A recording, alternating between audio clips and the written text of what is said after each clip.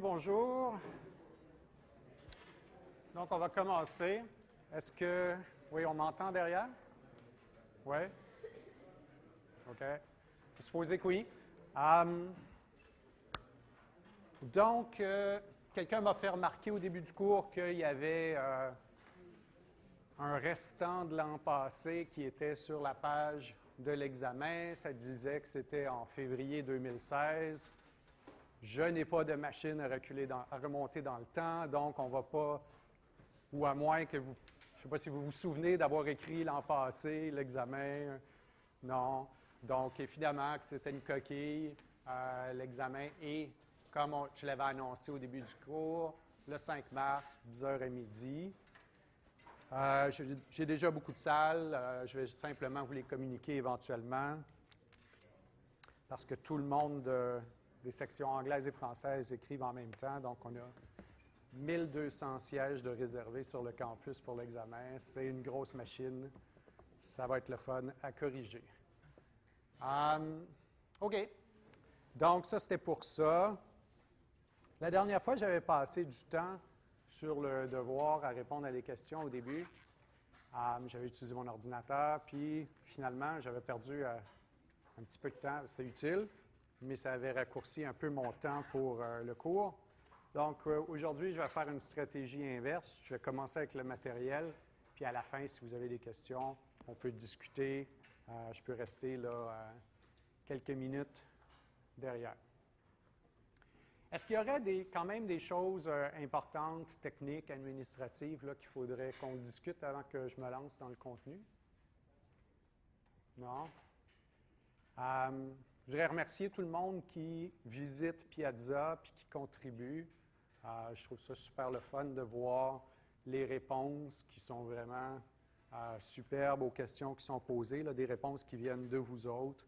Euh, je trouve ça intéressant de, de travailler ensemble à mieux comprendre ce devoir-là. Donc, l'orienté objet, c'est central en Java la notion même d'objet, c'est évidemment ce qui est le plus important à comprendre.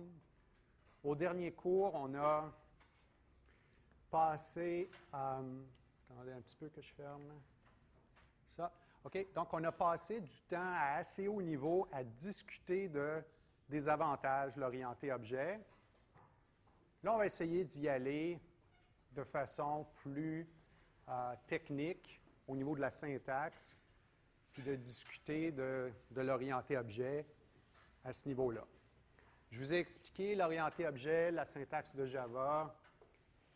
Il y a pas mal d'éléments, donc on va passer encore plusieurs semaines à raffiner ces idées-là. On va parler éventuellement d'interface, d'héritage, de type générique. Il y a donc beaucoup de sujets à venir.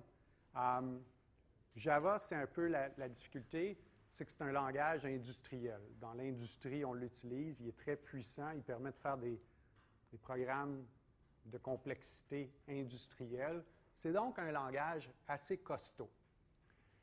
Dans le cours ici, on essaie quand même de regarder les choses simples. Au dernier cours, on a parlé de l'idée centrale de l'orienté objet, c'est que on va réunir dans une même entité, l'objet, les données puis les méthodes qui les transforment. On a fait un exemple super simple qui était le compteur.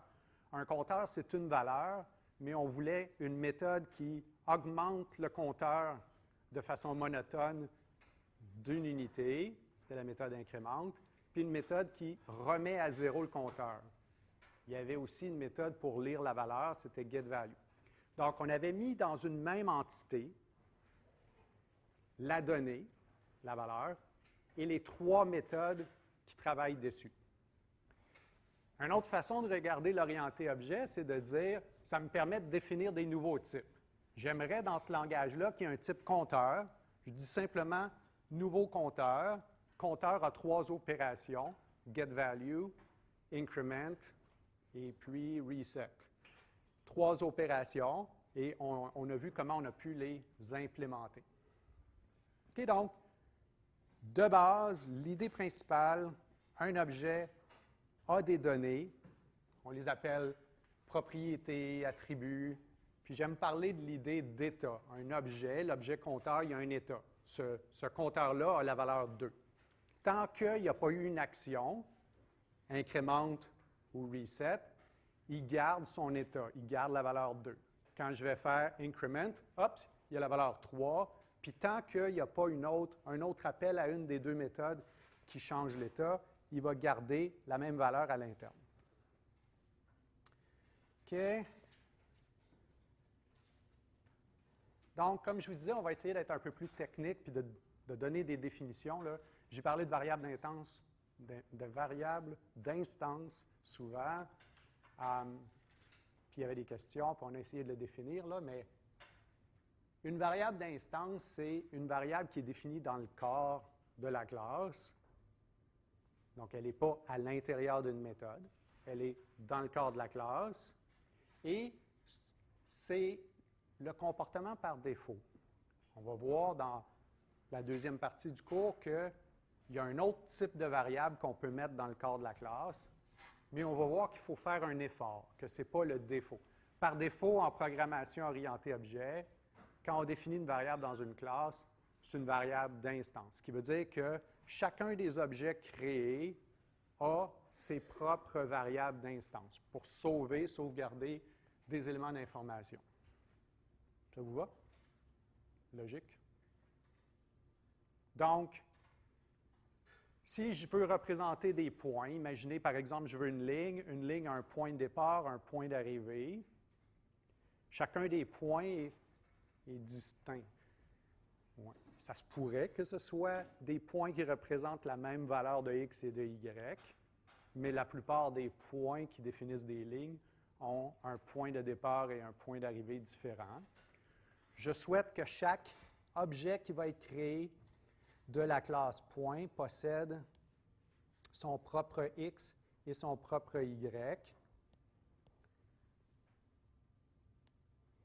Et c'est donc ça que je veux dire par variable d'instance. Ces variables-là, ces déclarations-là, x de type int, y de type int, ils sont dans la classe, la classe point, mais ils ne sont pas à l'intérieur d'une méthode. C'est donc ce qui veut dire que chaque fois que je fais new point.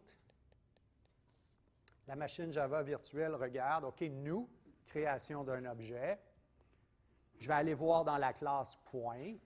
Je vois qu'il y a un X et un Y. Parfait. Ce point-ci a son X. Ce point-là a son Y. Probablement que j'aurais fait quelque chose comme P1 égale à ça. Et avant, je l'aurais déclaré, j'aurais dit P1 est une variable référence qui peut pointer vers des objets de classe point. J'en crée un, je le sauvegarde dans P1. Et voilà que P1 pointe là. J'en veux un autre point. Point P2. P2 est égal à new point. Machine Java virtuelle regarde ça. Je crée un nouvel objet, new. Qu'est-ce que je mets dedans? Je vais voir dans la classe point. Il y a un X, il y a un Y. Parfait. X, Y. Le résultat sauvegardé dans P2. Comme ça. Donc, variable d'instance. Chaque fois que je crée un objet de la classe, chaque objet possède sa propre copie. Je dis que c'est par défaut parce que si je ne mets pas rien devant ici pour modifier ce comportement-là, c'est ce que j'obtiens. Par défaut, quand je mets des variables ici, ce sont des variables d'instance. Ce qui vient avec les variables d'instance, concept de méthode d'instance. Deux idées super reliées. Les méthodes d'instance, c'est des méthodes qui vont agir sur les variables d'instance. Agir, ça veut dire lire ou changer le contenu d'une variable d'instance. Donc, c'est pas, on va voir plus tard, ce n'est pas logique d'utiliser une méthode d'instance à moins qu'elle parle d'une variable d'instance. Donc, ici, je m'en donne deux méthodes d'instance. C'est get x, get y. Je sais qu'elles sont d'instance parce que je n'ai rien mis de spécial pour changer la nature de ces méthodes-là. Donc, get x, get y, c'est deux méthodes d'instance. C'est des méthodes qui ont accès aux variables d'instance. Le x dont on parle ici, c'est celui-là. Le y qui est là, c'est ce y-là. Donc, les méthodes d'instance servent à lire ou changer le contenu des variables d'instance. Oui? C'est une très bonne question. C'est une convention. C'est une convention, mais qui va un petit peu plus loin si tu fais des applications web. Il y a un cours qui s'appelle Structure du web en troisième année. On apprend au sujet de choses qui s'appellent des beans en Java. Le langage est capable automatiquement de générer des énoncés qui vont faire des appels aux méthodes getX, getY, les, ce qu'on appelle les getters, de façon automatique. Donc, c'est une convention qui est devenue tellement utile qu'elle est utilisée de façon automatique. Mais ici, c'est un bon point que tu as là. Pour chacune des variables d'instance, si on veut lire la valeur de l'extérieur, on va se définir une méthode qui va avoir le préfixe get, comme dans obtient, va chercher, puis le nom de la, variable. Dans le cas de, par exemple, notre compteur, on avait get value, ça retourne le contenu de la variable value de l'objet compteur. Là, ce qui est important comme idée, puis vous allez voir, elle n'est pas si sorcière que ça comme idée, c'est pas si sorcier que ça, c'est comment les méthodes getX, getY obtiennent le contexte de l'objet. Comment la méthode getX sait sur quel objet elle travaille. C'est là où la notation pointée vient euh, en ligne de compte. Puis l'idée du contexte d'instance. Donc là, on parle de points. Tout à l'heure, on avait point P1, P2, variable référence. Donc, P1 et P2, ce n'est pas des points. C'est des variables qu'on peut utiliser pour désigner des objets de la classe point. P1 est égal à new point.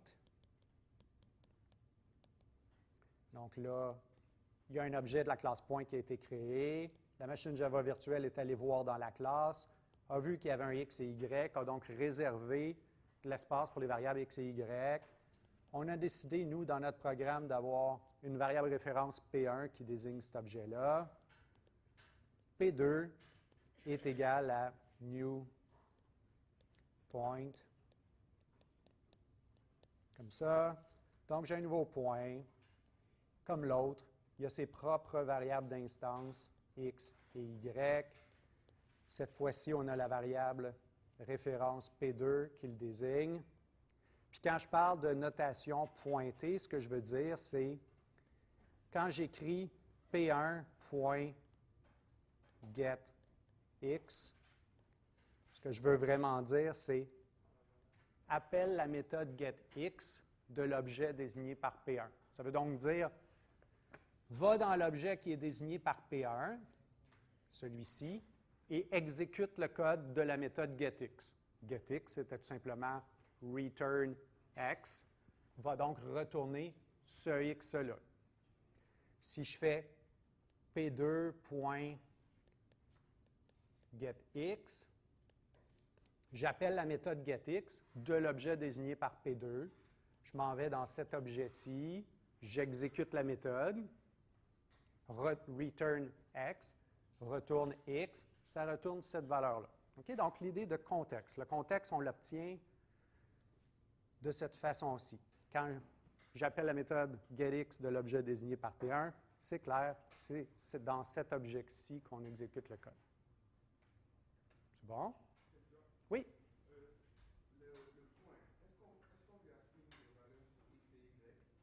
Non, ah, ici, là, il y a les parenthèses.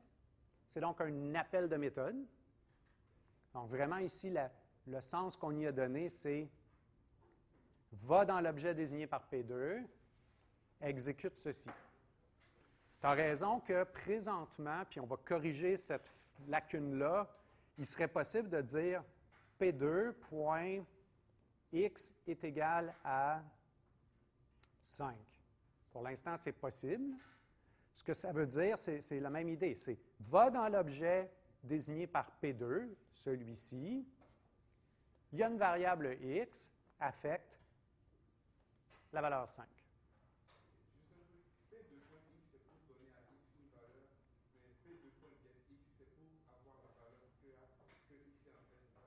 Ici, ben, si tu regardes, il ne faut pas s'attarder au nom getX. Ça, c'est dangereux. Je pourrais, vous je pourrais donner un nom farfelu à une méthode qui ferait autre chose. Donc, c'est important de ne pas porter attention au nom, mais plutôt à sa définition. GetX, ça fait tout simplement retourne le contenu de la, valeur, de la variable x. Donc, je vais dans l'objet désigné par P2, j'exécute ceci, return x, retourne ce x-là. C'est bon? Donc, on va jouer beaucoup avec ces idées-là aujourd'hui. Donc, c'est la référence vers l'objet qui nous donne le contexte de l'objet. Puis tout à l'heure, on va voir un exemple un peu plus complexe où il y aura deux objets impliqués, puis on va, on va compléter cet exemple-là. Autre définition. Il y a une notion en Java qu'on appelle un constructeur. C'est un peu dommage, c'est un mauvais nom, constructeur. Ça devrait être initialisateur, dans le sens où l'objet est déjà créé, puis le constructeur va permettre d'initialiser les variables d'instance. donc, un constructeur, c'est lié à l'objet lui-même. C'est une méthode qui a exactement le même nom que la classe. Classe point, je veux lui créer un constructeur. Le constructeur va s'appeler point. La classe avait une lettre majuscule pour point. Le constructeur va avoir une lettre majuscule. Ils se doivent d'être identiques. C'est une méthode qui est spéciale parce qu'on ne peut pas l'appeler dans un contexte autre qu'après le mot-clé new. On peut essayer, le compilateur va dire non, ça n'a pas d'allure. Je ne peux pas exécuter un constructeur dans un autre contexte qu'au moment de la naissance de l'objet. L'objet est né, c'est notre chance de mettre dans les variables d'instance les valeurs qu'on veut. donc, est spécial dans le sens où son appel est fait immédiatement après le mot-clé new. C'est une méthode qui est spéciale aussi parce qu'elle ne pourra jamais retourner une valeur. Même pas void. Et je prétends que c'est super logique. Pourquoi?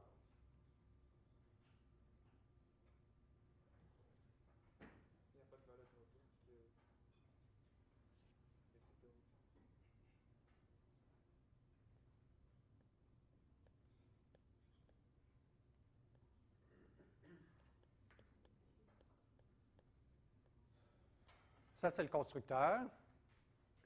Est appelé dans le contexte new, nouveau, création d'un objet point. Qu'est-ce qu'on va faire avec new? New nous dit, nous donne la référence de l'objet. Je crée un objet, voici l'endroit où je l'ai déposé en mémoire. Si tu ne veux pas le perdre, sauve-le dans une variable référence, attache-le.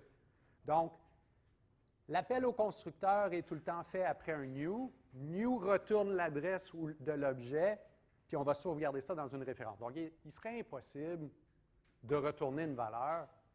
Ce ne serait pas logique. Il y aurait une interférence avec cette idée-là que new retourne la référence de l'objet nouvellement créé. C'est le fun quand les choses sont logiques. On dit Ah, ben oui, ça a de l'allure. Ouais? là, point, c'est le même dans la Mhm. Euh, Est-ce que c'est ce- c'est cette classe que vous appelez le constructeur actuellement? Oui, c'est. Donc, en Java, c'est un excellent point. Non.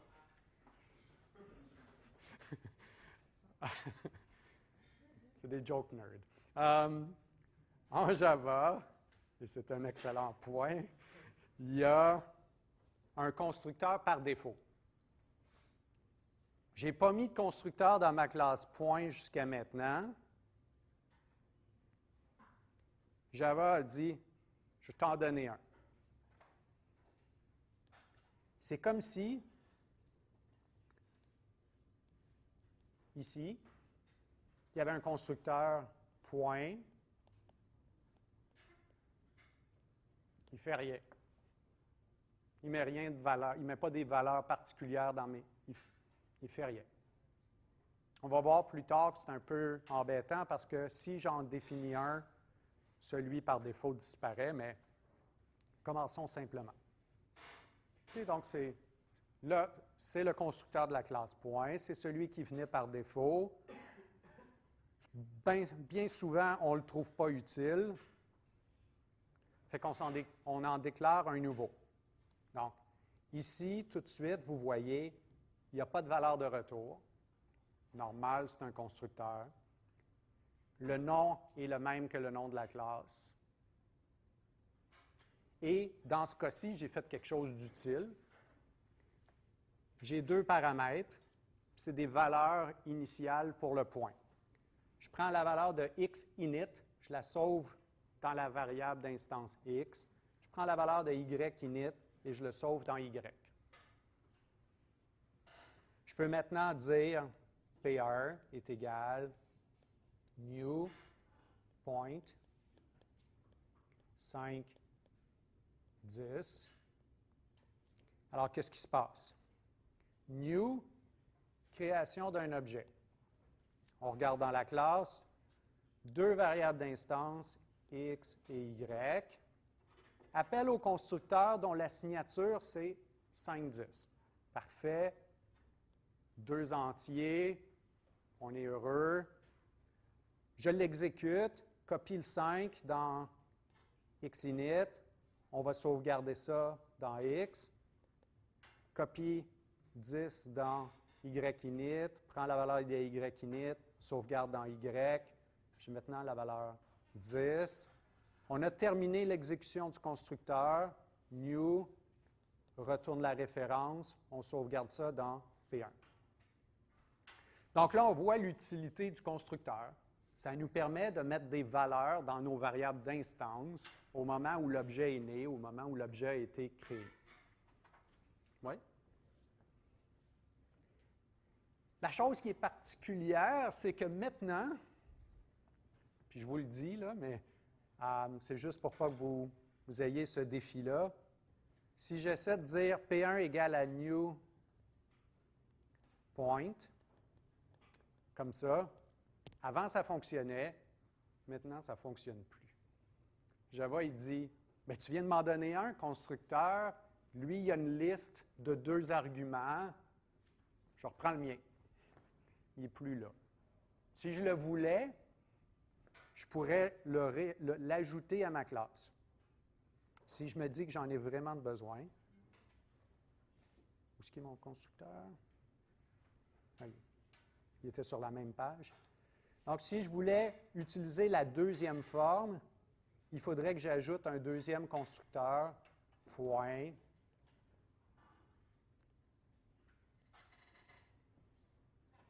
Je pourrais mettre x égale à 0, y égale à 0, comme ça. Je peux avoir deux constructeurs.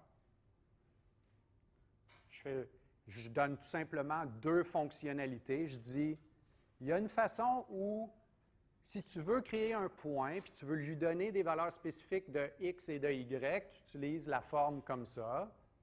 Puis si tu veux créer un nouveau point qui aura 0, 0 comme coordonnée, tu peux utiliser la deuxième forme.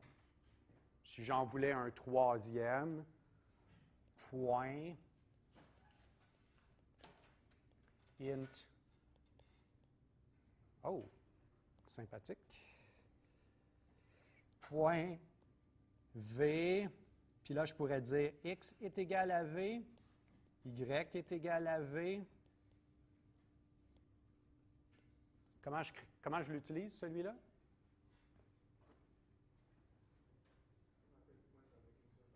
C'est ça. Quel va être le résultat? C'est ça. Je veux créer un point qui, à 100, 100, new point de 100. Et voilà, le x et le y ont la même valeur, mais il y a quand même deux variables. Oui?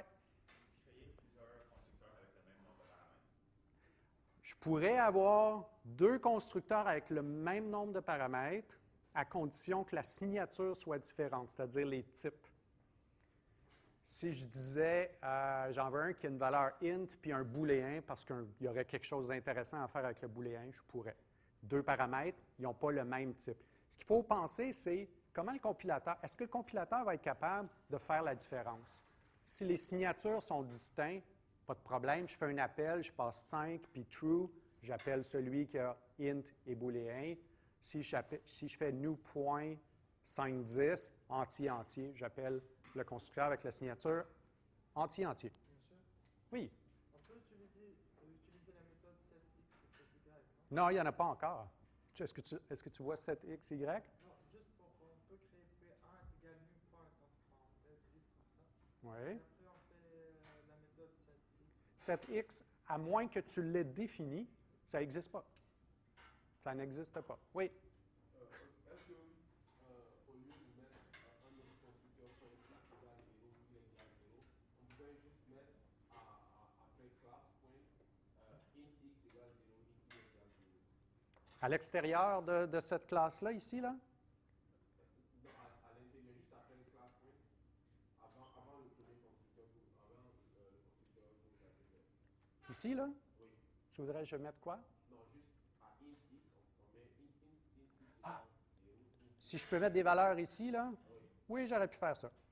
On peut avoir des valeurs qui, au moment où l'objet est créé, ils sont mis là, mais là, ils sont fixes. Quand on est à l'extérieur puis qu'on utilise la classe point, on n'est pas capable de changer les valeurs, d'où l'intérêt d'un constructeur comme celui-ci. OK? Une dernière. oui. Dans la déclaration du constructeur point, est-ce que init doit comme toujours apparaître après le nom des variables Non. Ici, j'ai voulu faire, je voulais que ça soit clair. C'est, la valeur initiale pour x, c'est la valeur initiale pour y. Je trouvais que c'était des noms qui me parlent. J'aurais pu les appeler A et B. Mais là, c'est ah, c'est pas aussi joli. C'est pas aussi intuitif. OK?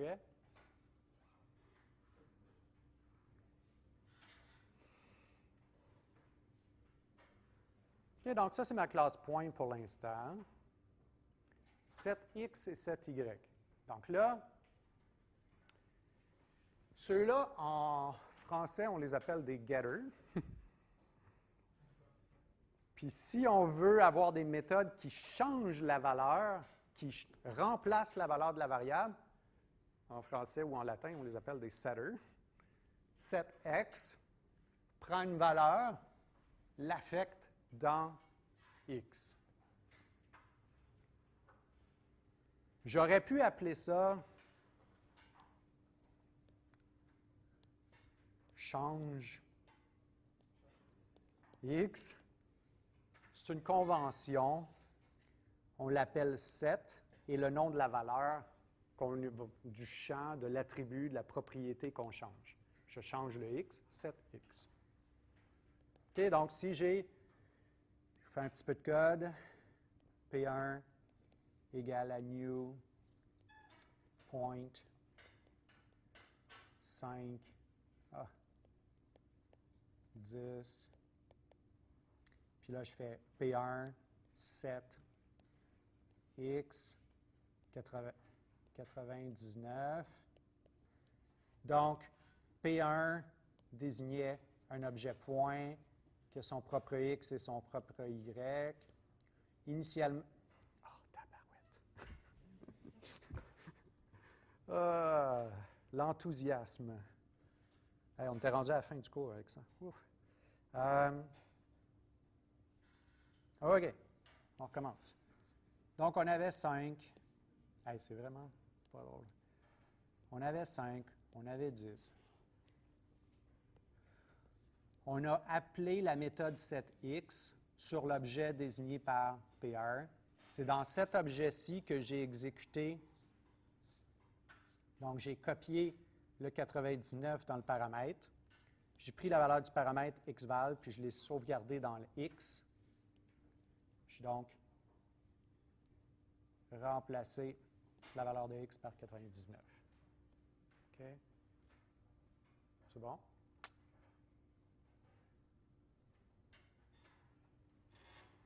Ça, c'est l'exemple que je vous avais dit pour le contexte objet. C'est l'exemple qui est un petit peu plus riche ici. OK? J'ai. Évidemment, vous avez compris là, que à chaque nouvel écran, possiblement j'ai encore tous les constructeurs qu'on avait, les getX, les getY, mais que ça ne rentre pas dans l'écran. Donc, dans l'écran, ici, je vous mets juste ce qui est utile pour ce que je veux parler, mais tout ce qu'on vient d'ajouter jusqu'à maintenant, il est là, il est dans votre tête. OK, donc un, un point a un X puis un Y? Je me suis défini une, une méthode equals. On a vu au dernier cours, quand on parlait de variables référence, si je fais P1 égale égal à P2, je suis juste en train de demander est-ce que la référence P1 pointe vers le même objet que la référence P2? Dans la plupart des cas, ce n'est pas super utile de faire ça. Ce qu'on voulait vraiment savoir, c'est le point désigné par P1, est-ce qu'il est égal en contenu au point désigné par P2? Ça, c'est utile. Donc, c'est ce qu'on fait ici, puis c'est là que la notion de contexte est super importante. J'ai super confiance en vous, je sais que ce ne sera pas un problème. Donc, je suis dans une méthode d'instance. Quand je parle d'un X, c'est celui-là. Quand je parle d'un Y, c'est celui-là.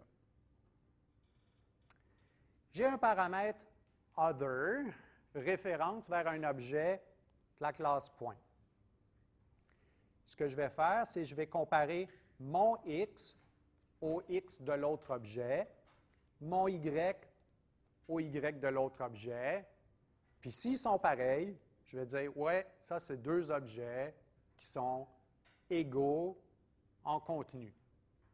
Leurs deux valeurs, leurs deux variables d'instance ont le même contenu. On va dire, ouais, c'est deux objets qui sont equals. Puis sinon, on va retourner faux. C'est bon? Oui?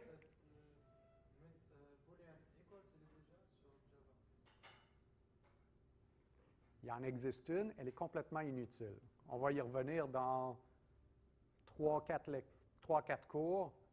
Tu vas voir que si tu définis pas toi-même une méthode equals, puis tu appelles la méthode equals de point, pour deux points distincts qui ont le même contenu, il va te dire ils ne sont pas égaux. On va y revenir un petit peu plus tard. Je me suis fait un petit exemple ici pour euh, regarder ça. OK, donc P1, oups, là, pas tout à fait la bonne couleur. P1, P2, des références vers des objets points. Je crée deux objets points. J'ai donc P1 référence pointe vers un objet point qui possède son X et son Y. Valeur des variables d'instance 10 et 15. P2, variable référence, pointe vers un objet point, possède ces deux variables d'instance X et Y, qui ont les valeurs 10 et 20 l'idée de contexte. J'appelle la méthode equals de l'objet désigné par P1. La méthode equals est, est exécutée dans lequel des deux objets? Pardon? Non. P1. J'ai appelé la méthode equals de l'objet désigné par P1. La méthode equals est exécutée ici, dans cet objet-là.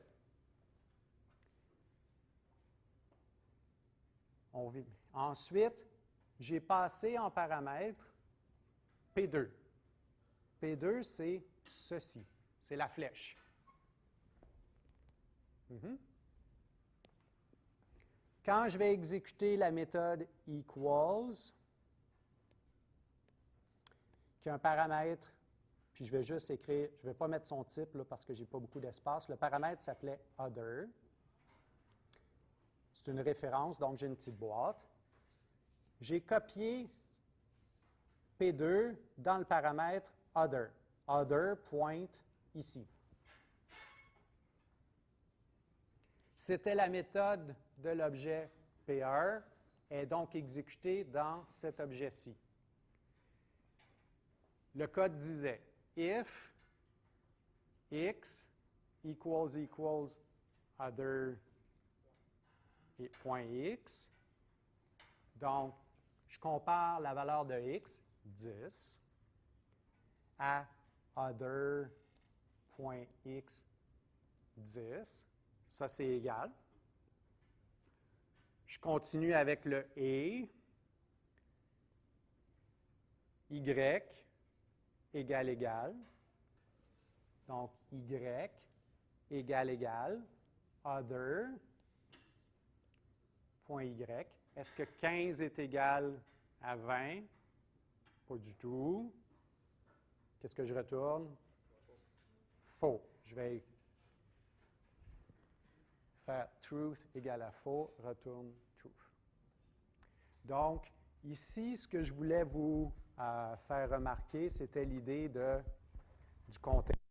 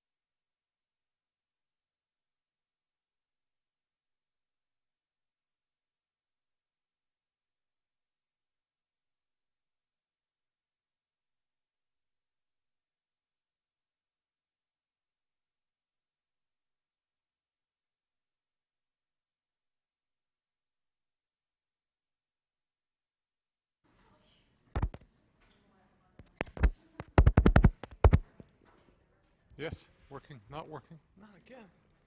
Oh. Evidently. It's so depressing.